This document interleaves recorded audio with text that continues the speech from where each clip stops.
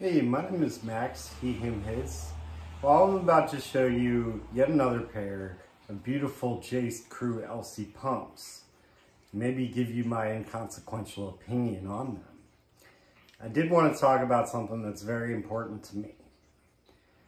Now, I've never been accused of having a stage presence by any stretch of the imagination. So I, I did write up a little bit of a script and I'll try not to read too much, but there will be a little bit of reading.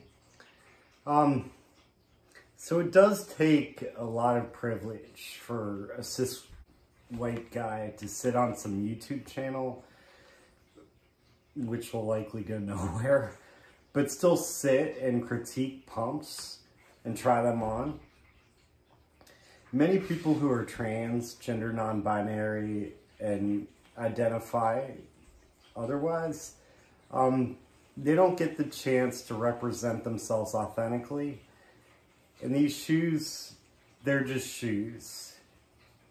The constraints of society prevent people, gender non-binary folks, from being able to show their overall authenticity, the many different facets of them that make them individuals. Um, and they truly do deserve to be able to show that. And no, that's that's not their fault either. That's that's our fault.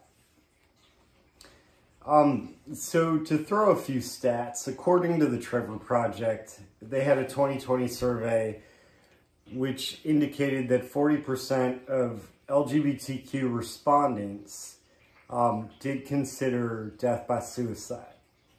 Um, and that number goes higher for gender non-binary and trans youth it goes to 50%. And that's youth that we're talking about. So,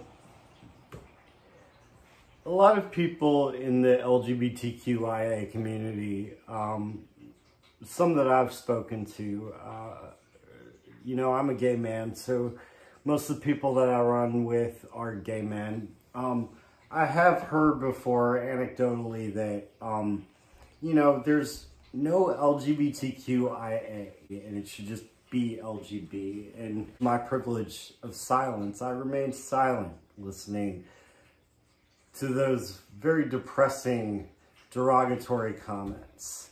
Um, so it's not just a society against the LGBTQIA community.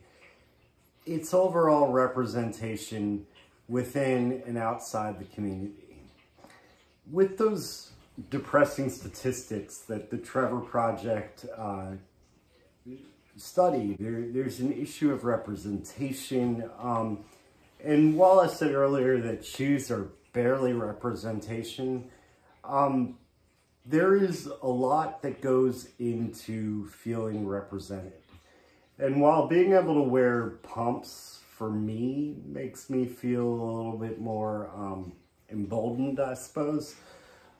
Just the overall message from society is that we must conform to gender rules and we must conform to these rigid lines and men can't act like women and women can't act like men. Um, and when I look at these shoes, they're shoes. You know, they're not, they're not like a woman's shoe. They're not a man's shoe. They're not a trans person's shoe. They're just, they're just a shoe. And in of themselves, they're really just pieces of leather. And so just wearing them shouldn't be a political act. Getting on to what you probably clicked the video on for is um, another pair of J. Crew Elsie pumps. Um, the last one I showed you were black. These are cream suede, um, three and a half inches, 90 millimeters approximately. Um, made in Italy, absolutely beautiful, smells stunning. Um, I haven't worn these because um, they're just so perfect. A lot like the black pumps that I showed you, these um, J. Crew Elsie cream pumps are just stunning. The lines, um, the heel is a little bit shorter than I like, but they're walkable. Um, I walked around town in the other pumps, the other J. Crew pumps, and they just, they, they felt great. So trying them on, they feel great like the other pumps. They feel actually kind of the same. I would love to mix and match the pumps. Um, where the black suede with cream suede, um, one on each foot. They walk great. They're not too high. Um, again, I do like when it's like that. However, take some and you lose some on a budget. But these are absolutely beautiful. Totally recommend them. I do wish that J. Crew would go up to a size maybe 14 or 15, but that will likely come in the future. Um, but overall, these are just great. So again, do I recommend the J. Crew Elsie pumps? Hands down, of course, to everyone. And maybe some variations on the heel heights, like maybe a um, a 60, a 90, and a 120. Well, 120 is very high. Um, but a 105 millimeters, um, that would be amazing. I have to move south again for um, PhD program.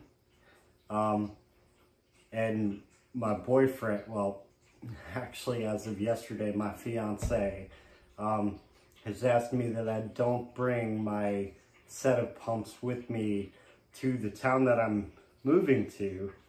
Um, and I've never been one to follow rules. So I think these are going to be a staple down there. But these are beautiful. And as always, to the trans and non-gender binary youth out there, um, we're here for you. We see you and we love you. Thank you.